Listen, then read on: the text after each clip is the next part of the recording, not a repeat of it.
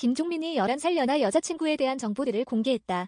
지난 15일 오후 방송된 KBS2 예능 프로그램 1박 2일 시즌 4 241회는 여름 마운트에 나선 멤버들이 모습이 그려졌다. 이날 오프닝에서 조세호는 김종민에게 열애 공식적으로 발표한 거냐라고 물었고 딘딘은 우리 몇 개월 동안 얘기할 때 하지 말라고 하더니 어만 곧 가서 열애 공개를 한다고 했냐라며 다른 곳에서 열애를 발표한 김종민에게 섭섭함을 드러냈다.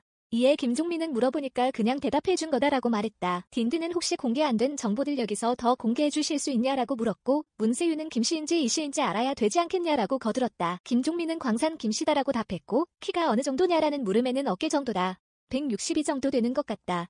딘딘보다 큰 것 같다라고 말해 웃음을 유발했다. 이어 김종민은 헤어스타일은 긴 생머리, 스타일은 청순한 스타일이라고 밝혀 눈길을 끌었다. 이를 보던 이주는 근데 형이 물어보니까 다 대답을 해주시긴 한다라며 웃었다. 이어 딘딘은 김종민에게 결혼하실 거냐라고 질문했다.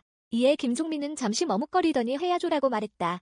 문세윤은 잠시 머뭇거린 김종민의 모습에 근데 고개 동서남 북은 왜 나왔냐라고 놀렸고 조세호는 나는 저 마음을 너무 이해하는 게 형은 하고 싶은데 상대방은 아닐 수도 있지 않냐라며 김종민의 마음에 공감했다. 그런가 하면 이날 김종민은 여자친구에게 반하게 된 과정을 말하기도 했다. 조세호는 차를 타고 이동하던 중 김종민에게 처음에 어떻게 만나게 됐냐.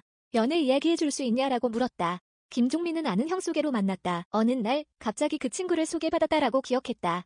김종민은 그분은 형과 만나기 전부터 형한테 마음이 있었던 거냐라는 유선호의 물음에 그녀는 내게 관심이 없었다. 그런데 실물로 봤더니 방송에서 본 것보다 내가 너무 귀엽다더라라고 밝혔다. 이어 김종민은 여자친구의 첫인상에 대해 나한테 귀여우시다라고 하는 말이 설레다. 그러고서는 그날 연락처를 받았다.